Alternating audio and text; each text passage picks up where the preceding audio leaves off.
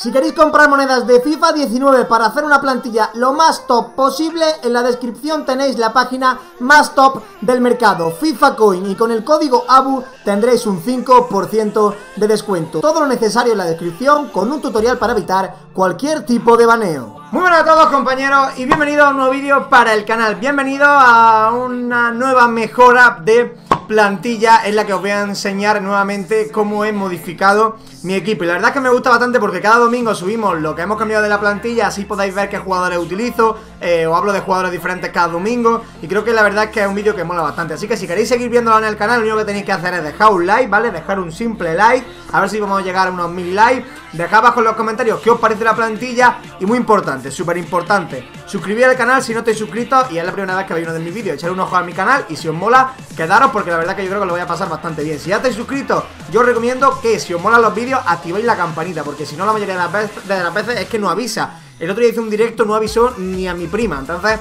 si queréis estar avisados, ya sabéis, activar la campanita. Y lo único que tenéis que hacer, eh, simplemente si queréis pillar alguna camiseta o alguna ropa como la que llevo puesta en todos mis vídeos, eh, pues ya sabéis que son de mi sponsor, lo tenéis abajo en la descripción con el código un descuentazo y tal, le podéis echar un ojo. Lo primero que vamos a hacer, como siempre, como cada fin de semana, como cada domingo, es ver la plantilla que tenía anteriormente eh, o la que subí la semana pasada para ver qué hemos mejorado respecto a esa plantilla esta semana. La plantilla que subí el domingo pasado, que os estará saliendo también en tarjetas por si la queréis ver en vídeo directamente, fue esta, ¿vale? Esta fue la plantilla que subí la semana pasada Como podéis ver, hay jugadores que tienen el cartelito este de intransferibles Es decir, que tienen eh, la V está aquí, el, visto este y el filo verde, eso es que son intransferibles. Aurier es intransferible, dejé intransferible, me salieron al principio del juego en esta cuenta. Bailey también es intransferible, Marcelo también era intransferible, Crepo y Ribado eran intransferibles. Todo lo demás no, como podéis ver, teníamos a Billy y a Davinson Sánchez de centrales, que no van mal del todo.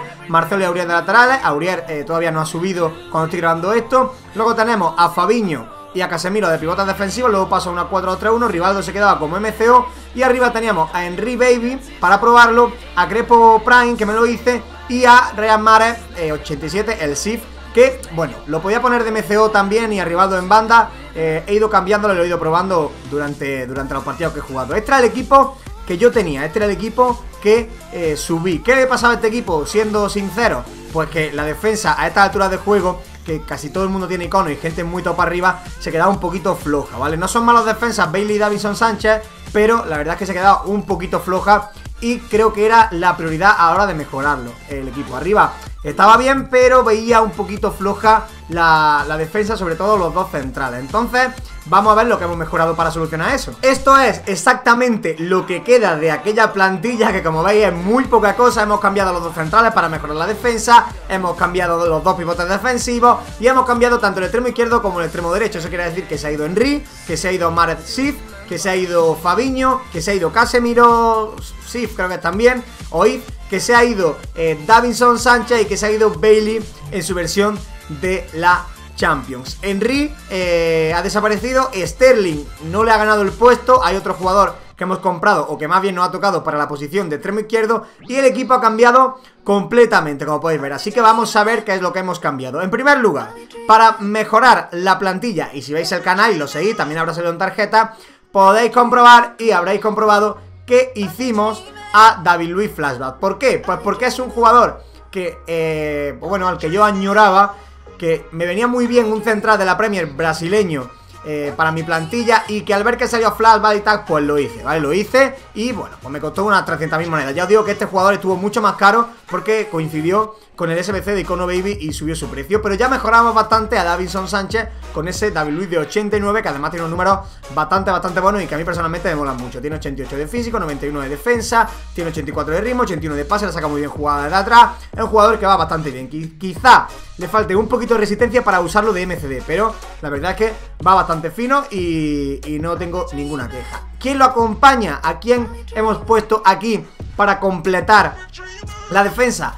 Si fuese de la Premier, eh, habríamos puesto por aquí a David Luis para que le diera a Marcelo y hubiéramos puesto aquí al otro centro de la Premier. No es de la Premier y entonces para darle química a Marcelo, a De Gea y tal, deberíais de saber quién es. Y es el señor, eh, pues bueno, Sergio Ramos, ¿vale? El señor Sergio Ramos, media 91, que da química con Marcelo, con Rivaldo y con David de Gea, un central que va muy muy bien también, muy bien al corte, defensivamente es un animal, va bien por arriba, tiene ritmo, también sabe sacar la jugada de atrás. Es uno de los mejores centrales de juego sin ninguna duda. Me costó 172 mil monedas y con ello completamos la defensa, una defensa que pasaba de tener dos centrales poco contundentes a tener dos centrales muy buenos, como son Ramos, David Luis Flapa, Aurier, a ver si quiere subir en algún momento, no sé si cuando suba este vídeo ya habrá subido, pero de momento no, y Marcelo a 89.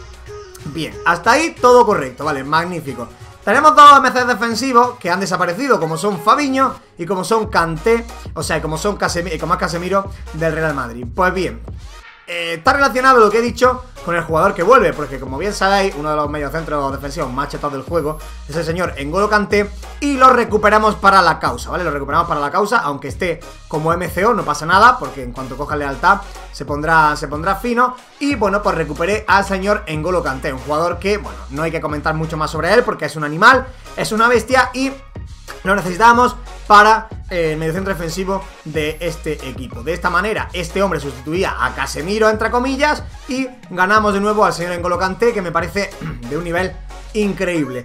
¿Quién lo acompaña? ¿Quién es el jugador que debería de estar aquí? No está Fabiño, no está Fabiño, y eh, claro, debería de haber otro jugador. ¿Qué pasa? ¿Qué pasa? Que el que está es Fabiño, pero no es el Fabiño que vosotros conocéis, es este Fabiño, es el Fabiño de 86. Digo que no es el que conocéis porque siempre he utilizado al normal y nunca hemos visto a este en el canal. Pensé en comprar a Fabiño If, que era más caro y digo, será mejor, pero la verdad es que solo ganaba un poquito más en ritmo y en tiro creo, o en, o en regate o en pase, pero defensivamente y físicamente son idénticos. Y este vale como la mitad del If, así que si queréis comprar algún Fabiño mejor que el de 85, yo recomiendo a este, porque el IF vale como el doble que este, o sea, unas 180.000, y la verdad es que son muy muy parecidos e in-game no vais a notar ninguna diferencia. Así que os recomiendo este encarecidamente. De esta manera ya teníamos a Kanté y teníamos a Fabiño como pivotes defensivos. Mejorábamos también constantemente, bueno, para mí bastante el tema de los pivotes que antes eran Casemiro y eh, Fabiño normal. Creo que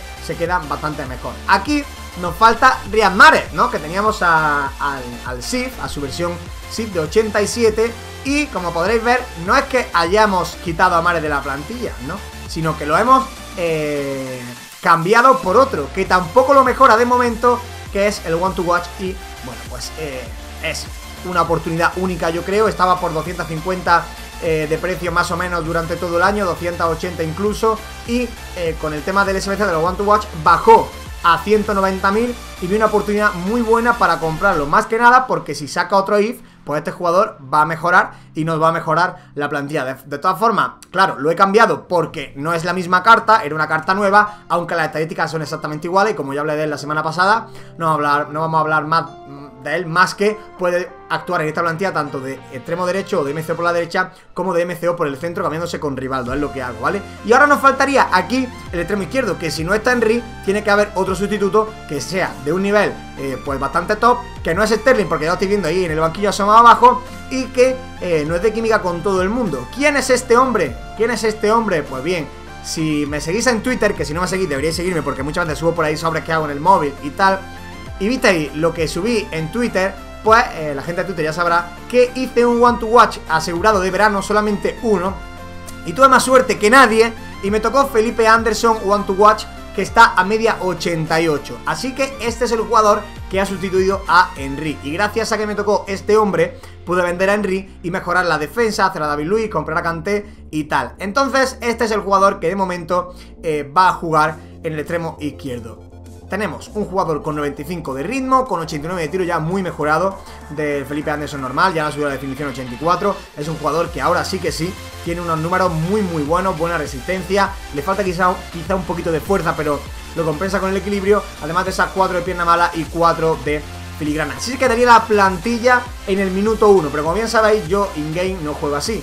In-game juego con la 4-2-3-1, que es con esta formación, ¿vale? Con esta formación en la que como os digo, Rivaldo se va a banda o, al MCO del centro, dependiendo de cómo vayan las prestaciones y dependiendo del partido. Lo que sí seguro es que Fabinho y Canté se quedan de pivotes defensivos, que Crespo se pasa a delantero centro, Felipe Anderson actúa de MCO por la izquierda y ya os digo que aquí voy cambiando, también creo que me dejéis en los comentarios, queréis vosotros, entre Rivaldo y Márez, ¿vale? Entre Rivaldo y Marez los voy cambiando de, posición entre ellos, dependiendo del partido. Lo bueno de, de Marez para el MCO es que le pega con las dos piernas medio bien, porque tiene cuatro piernas malas.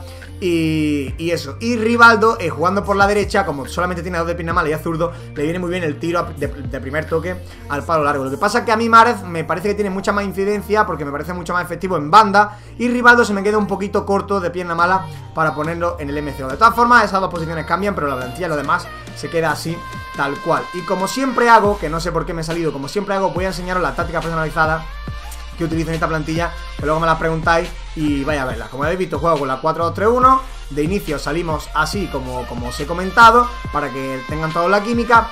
Y las tácticas personalizadas que utilizo, que utilizo no, que utilizo no, que utilizo, perdón. eh, pues bueno, son, me salió otra vez, estoy es un arma, son las siguientes. Mira, os las voy a enseñar rápidamente.